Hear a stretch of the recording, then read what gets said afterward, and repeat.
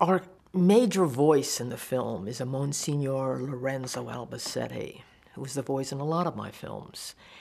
And when I asked him to come up with his best definition of forgiveness, he said to me, and I'll never forget these words, and they are the undersong of the film.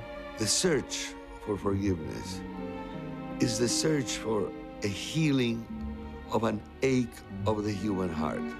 It's that yearning that each of us has to be connected to someone else. Maybe not to many people, but to one person and to not go into the night, to not die unconnected.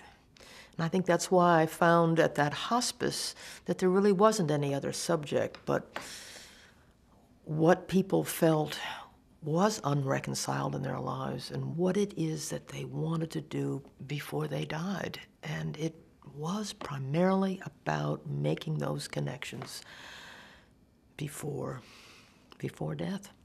What is mysterious and powerful about forgiveness? And I think it's that quality of it being so fundamental to what makes us fully human. And to what makes us fully human is our need to connect, our need not to go into the night unconnected and unreconciled.